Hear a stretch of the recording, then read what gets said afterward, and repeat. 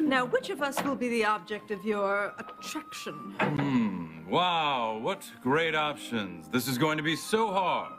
Oh, sisters, I'm back from war. Hello, sailor!